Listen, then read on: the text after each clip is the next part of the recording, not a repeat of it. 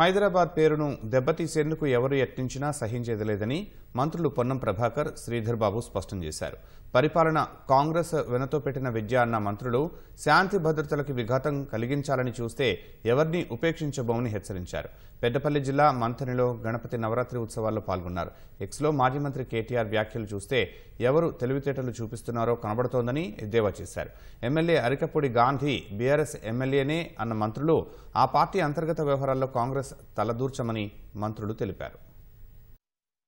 సంవత్సరాల అధికారంలో ఉన్నోళ్ళు పది నెలల్లోనే అసహనానికి గురై శాంతి భద్రతలకు భంగం కలిగిందని ప్రజల్లో విశ్వాసం సన్నగిల్లే విధంగా మాట్లాడితే పొరపాటు. కానీ శాంతి భద్రతలు ఉండొద్దు రాష్ట్రం అల్లకల్లోలం కావాలి ఘర్షణలకు నిలయం కావాలని కోరుకుంటున్నట్టు అనిపిస్తుంది వాళ్ళు మారు మారు మాట్లాడుతుంటే. హైదరాబాద్ బ్రాండ్ ఇమేజ్కి దెబ్బ తగిలే విధంగా కొంత కుట్ర జరిగేటువంటి విధంగా వ్యాఖ్యలు కనిపిస్తా ఉన్నాయి. శాంతి భద్రతలకు సంబంధించి ఉక్కు పాదం వేసి కఠినంగా వ్యవహరించాలనే ఆదేశాలు కూడా ఇచ్చాం. మీరు ఒకవేళ నిజంగానే రాజకీయపరమైన విమర్శలు చేసుకుని కొట్లాడుకోదలుచుకుంటే వినాయక నిమజ్జనం తర్వాత చేసుకోండి. కొంతసేపు విరామేమని కోరుతూ ఇంక్లూడింగ్ కేటీఆర్తో సహా అందరికి తెలియజేస్తా ఉన్నాం. దయచేసి నిశ్చింతగా ఉండండి. ఈ రాష్ట్రానికి ఉన్న బ్రాండ్ ఇమేజ్ అంతర్జాతీయ స్థాయిలో ఒక ప్రోగ్రెసివ్ స్టేట్గా ఒక ఇండస్ట్రియల్ స్టేట్గా ఇన్వెస్ట్మెంట్ ఫ్రెండ్లీ స్టేట్గా ముందుకు తీసుకెళ్ళాలని మా ప్రయత్నంలో అందరూ పాల్పంచుకుంటే మంచిగుంటుంది. కానీ ఈ బ్రాండ్ ఇమేజ్ను దెబ్బతీసే ప్రయత్నం కొన్ని ప్రతిపక్షాలు ప్రత్యేకంగా చేస్తా ఉన్న సందర్భాలు కనబడతా ఉన్న తరుణంలో హైదరాబాద్ బ్రాండ్ ఇమేజ్ని కాపాడతాం. తప్పకుండా దానికి ఉన్న బ్రాండ్ ఇమేజ్ని పది ఇంతల పెంచే ప్రయత్నం చేస్తాం.